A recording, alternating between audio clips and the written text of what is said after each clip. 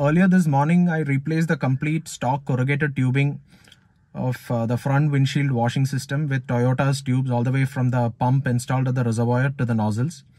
The nozzle also has an elbow which is installed which is prone to leakage as it had happened on mine. So I got rid of the part and uh, right now the tube is just inserted uh, with a slight bend which does not hamper the flow. And as you can see there's a good difference in the amount of spray and there's no leakage at all. So i hope it continues that way. The process is pretty straightforward. Only thing is you'll have to access the driver side uh, uh, wheel. Uh, you'll have to remove the wheel and uh, part of the fender lining as well wheel well lining as well to access the reservoir. And uh, that's about it